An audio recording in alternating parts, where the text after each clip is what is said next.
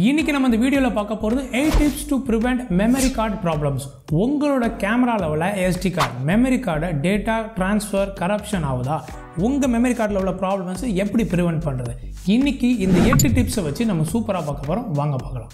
Hey what's up guys welcome back to mirror me studio நான் திலீபன் ராமகிருஷ்ணன். இன்னைக்கு இந்த எட்டு டிப்ஸை பற்றி பார்க்க போகிறோம் tip number one format instead of deleting all உங்கள் கேமராவில் உள்ள இந்த ஃபோட்டோஸ் எல்லாமே எடுத்தாச்சு. இந்த மெமரி கார்டில் உள்ள எல்லா ஃபோட்டோஸும் நான் எடுத்துட்டேங்க. எப்போயோ இம்போர்ட் பண்ணிட்டேன்.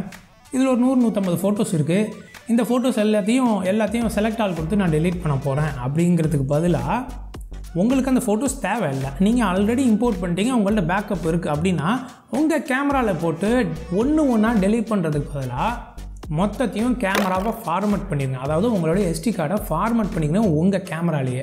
ஸோ அது மாதிரி ஃபார்மட் பண்ணிட்டீங்கன்னா என்ன ஆகும்னா அதில் உள்ள அன்வான்ட் டேட்டாஸ் அன்வான்ட் இந்த கேஷ் ஃபைல்ஸ்லாம் அந்த ஃபார்மட் ஆப்ஷன் வந்து கரெக்டாக கிளியர் பண்ணி உங்கள் கார்டுக்கு ஒரு ஃப்ரெஷ் பண்ணி ஒரு ஷாம்பு போட்டு குளிப்பாட்டி விட்டது மாதிரி உங்கள் கார்டை ஒரு ரிஃப்ரெஷ் பண்ணி விட்டுரும். Tip number two eject before pull out the card from PC உங்கள் பிசியிலோ லேப்டாப்லேயோ நீங்கள் வந்து மெமரி கார்டில் ரீடரில் போட்டு நீங்கள் ஒர்க் பண்ணிகிட்ருக்கீங்க சில பேர் என்ன பண்ணுவாங்க நம்மளே வந்து சில நேரத்தில் மறந்துட்டு என்ன பண்ணுவோம் சேஃப்லி எஜெக்ட் அதாவது அந்த எஜெக்ட்டுங்கிற ஆப்ஷனை நம்ம வந்து கொடுக்காம என்ன பண்ணுவோம் டக்குன்னு அந்த கார்டை ரிமூவ் பண்ணிடுவோம் அப்லோட் பண்ணிடுவோம். அது என்ன பண்ணும் அந்த நேரத்தில் ஏதாச்சும் டேட்டா ட்ரான்ஸ்ஃபர் வந்து அந்த கார்டுக்கும் அந்த பிசி லேப்டாப்புக்கும் வந்து ஏதாச்சும் நடுவில் அது டேட்டா ட்ரான்ஸ்ஃபர் ஆகிட்டு இருந்துச்சுன்னா அந்த நேரத்தில் சடனாக நீங்கள் ரிமூவ் பண்ணும்போது அந்த டேட்டா ட்ரான்ஸ்ஃபரை நீங்கள் டிஸ்டர்ப் பண்ணி அந்த கார்டை கரெக்ட் பண்ணுறதுக்கான வழிகள் அதிகமாக இருக்குது அந்த சான்சஸ் வந்து நீங்கள் கூட்டிடுறீங்க.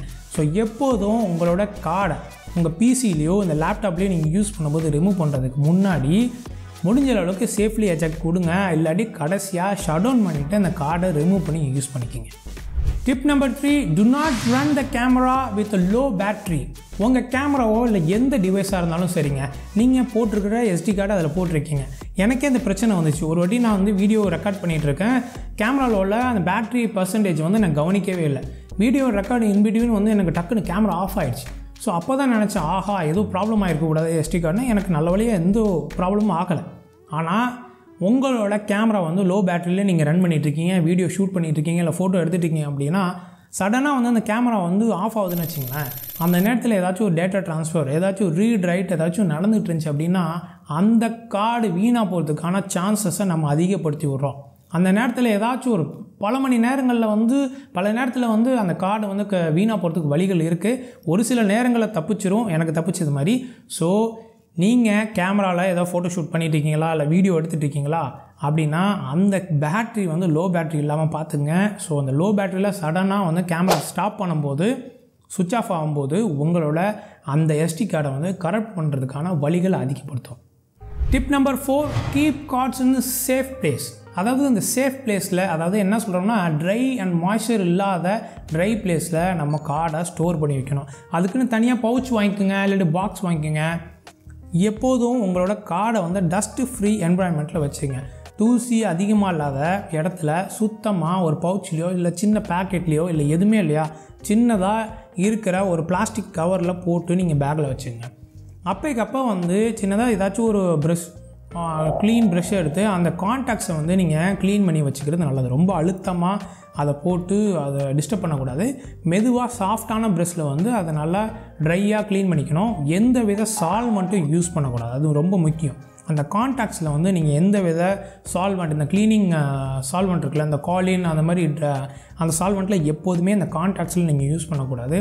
அதுக்குன்னு தனியான ஒரு சால்வெண்ட் இருக்குது அது வந்து அதை வந்து ஒரு ப்ரொஃபஷனல் தான் வந்து அதை யூஸ் பண்ணுவாங்க. நம்ம அந்த மாதிரி எந்த சால்வெண்ட்டும் போட்டு அதை க்ளீன் பண்ணுறதுக்கான இது வச்சுக்கக்கூடாது எப்போதும் ட்ரையாக அதை சேஃபான பிளேஸில் வச்சுக்கிறதுக்கான பார்க்கணும். Tip number five turn off the camera before you remove the card உங்களோட கேமராவில் உள்ள எஸ்டி கார்டை நீங்கள் எடுக்கிறீங்கன்னு வச்சுங்களேன் கேமராவை ஆஃப் பண்ணிடுங்க இன்னும் முடிஞ்சு போனால் சொல்ல போனோம்னா அந்த பேட்டரியை ரிமூவ் பண்ணிடுங்க பேட்டரி எப்படி வந்து ஒரு லென்ஸை வந்து நம்ம இன்டர்சேஞ்ச் பண்ணுறோம் வேறு லென்ஸ் வந்து மாற்றும் போது கேமராவை வந்து ஆஃப் பண்ணிவிட்டு மாற்றுறோமோ அது மாதிரி எஸ்டி கார்டை நீங்கள் ரிமூவ் பண்ணும்போது உங்களோட கேமராவை ஆஃப் பண்ணிட்டு எஸ்டி கார்டு ரிமூவ் பண்ணுங்க. இதுக்கு முன்னாடி சொன்ன மாதிரி தான்.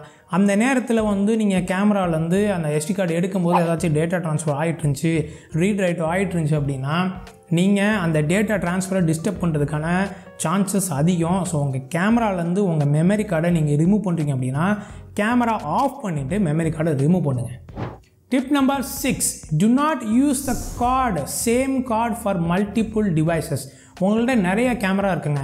இப்போ நம்ம வந்து ஸ்டுடியோ வச்சுருக்கோம். நம்மள்கிட்ட வந்து நாலு ஃபோட்டோகிராஃபர்ஸ் இருக்காங்க. நாலுட்டையும் நா நாலு பேர்கிட்டையும் நாலு கேமரா இருக்குது அப்படின்னு வச்சுங்களேன். நாலு வெவ்வேறு விதமான கேமராஸ் ஒரே கார்டை வச்சுக்கிட்டு நாலு வெவ்வேறு விதமான Canon Sony Nikon Pentax Panasonic அப்படின்னு சொல்லிட்டு மாற்றி மாற்றி யூஸ் பண்ணக்கூடாது.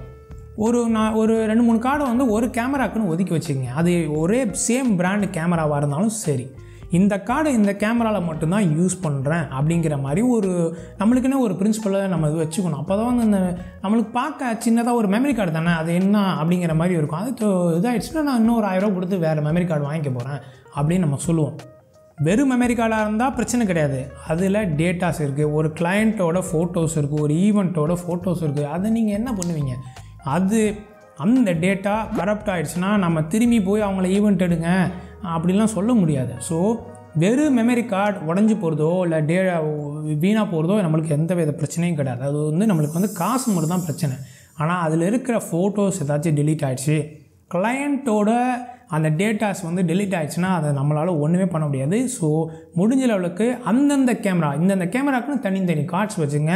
ஒரு ஒரு வாட்டியும் ஈவெண்ட் முடித்தோன்னே அதை வந்து டேட்டாஸை வந்து இம்போர்ட் பண்ணிக்கிட்டு அதை வந்து ஃபார்மேட் பண்ணி ரிஃப்ரெஷ் பண்ணி வச்சுக்கோங்க. Tip number seven stop shoot before card is full உங்கள் மெமரி கார்டு வந்து ஃபோர் ஜிபி அளவுன்னு வச்சுங்களேன் ஃபோர் ஜிபி அளவுக்கு வந்து three point eight three point நைனுக்கு வரைக்கும் அதில் போட்டு திணிக்கக்கூடாது. எப்படி ஒரு கடலை மூட்டைக்குள்ளே கடலையை திணற திணற கொட்டி இருக்க மூடுறது மாதிரி. உங்களுக்கு ஒரு ப்ரீத்திங் அந்த ஸ்பேஸ் விடணும். அது ஒரு இடம் விடணும். ஒரு கார்டில் ஒரு four GB கார்டுனா three point seven three point எயிட்டுக்குள்ளே நம்ம நிறுத்திக்கிறதுக்கு பார்க்கலாம். நம்ம வந்து இன்னும் இடம் இருக்க இடம் இருக்குன்னு சொல்லிட்டு அதை போட்டு வந்து அதை வந்து ஓவர் ஃபில் பண்ணக்கூடாது. அதுக்கு ரொம்ப போட்டு அமுக்கக்கூடாது.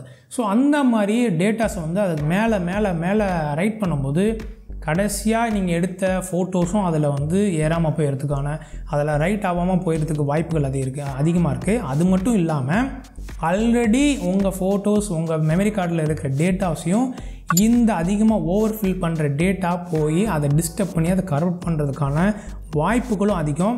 அதனால் உங்களோட ஸ்பேஸ் எவ்வளோ இருக்கோ அதில் போட்டு ரொம்ப போட்டு அமுக்காமல் ரொம்ப அதை ஸ்டோர் பண்ணாமல் ஓரளவுக்கு அதுக்கு ப்ரீத்திங் ஸ்பேஸும் விடுங்க last but not least tip number eight format the new card before use இது முன்னாடியே நம்ம இன்னொரு வீடியோவில் சொல்லியிருக்கிறோம். இந்த புது கார்டு புது கார்டு மட்டும் இல்லைங்க. எது பழைய கார்டாக இருந்தாலும் சரி.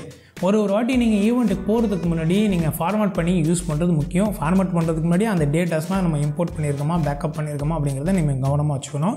இந்த புது கார்டு வாங்குறீங்கன்னு வச்சுங்களேன் பேக்கெட்லேருந்து சில பேர் அப்படியே ஈவெண்ட் போகிறதுக்கு முன்னாடி அந்த ஆன் த வேலையை வந்து நம்ம கடையில் போய் வாங்கிட்டு அப்படியே போவோம். அப்படியே ஓப்பன் பண்ணி போட்டுட்டு இது பண்ணுவோம். சில கார்டு வந்து நீங்கள் உங்கள் டிவைஸில் போட்டதுக்கப்புறம் அதாவே கேட்கும். இதை வந்து ஃபார்மேட் பண்ணிருப்பா? புது கார்டாக இருக்குது ஃபார்மேட் பண்ணிடுவான்னு கேட்கும். சில டிவைஸ் அண்ட் சில எஸ்டி கார்டுக்கு கேட்காது.